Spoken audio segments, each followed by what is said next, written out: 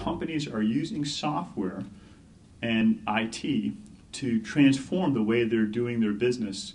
And to make that work, they are rethinking their business processes. And it's creating real assets, but they're intangible assets. And they don't show up in a lot of the conventional accounting. They don't show up on the balance sheets of the companies, but they are showing up in terms of greater productivity and performance. In fact, that is the reason why we've had this uptick in productivity is because companies have figured out how to make these kinds of changes.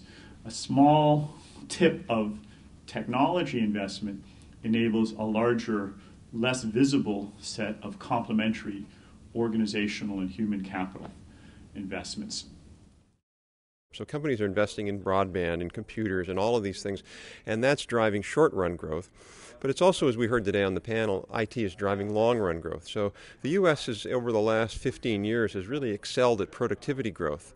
Uh, we've, we've led the world on productivity growth, frankly. We've certainly beat Europe and Japan, and we continue to do that. And the real core reason is because we, uh, we have organizations that adopt IT, and as Professor Brynjolfsson said, have become digital organizations that use IT to transform what they do.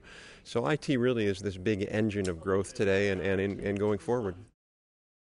So one of my concerns that was that maybe the way that this is working is it's creating kind of an electronic sweatshop that's allowing people to measure things more and more carefully and squeeze every last bit of, of value from them.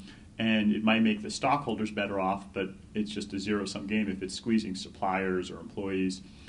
We did not find that to be the case. What we found was that, in fact, employees were also better off. On average, they were paid more with different parts of the organization. We measured top, middle, and bottom of the pay scale they were less likely to quit, uh, had higher levels of satisfaction. So we interpreted, you know, the fact that they stayed with the company more also as indications that they were not dissatisfied.